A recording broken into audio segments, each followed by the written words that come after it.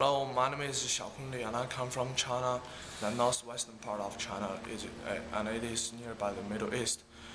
And I like uh, listen to music when I'm uh, in a little time, and I, I, I think I'm a good player about uh, table tennis and uh, pool. So uh, three things that I feel are unforgettable. The first one is uh, I went to the boarding school when I was a kid in the kindergarten uh, until I finished my high school. And the second thing is I my about my first travel by myself when I was 12. I went to the Hainan Island by myself, and I, uh, my father offered me the the air ticket, and I go by myself, and I went by myself. And the third thing is I made a decision, a really big decision that I been to San Francisco.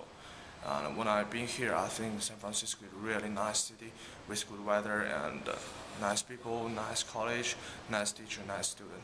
And thank you very much.